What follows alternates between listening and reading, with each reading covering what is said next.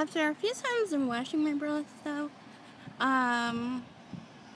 and then I tend, I forget to like hang them up properly and they end up getting really fucked up and it's hard to wear a fucked up bra.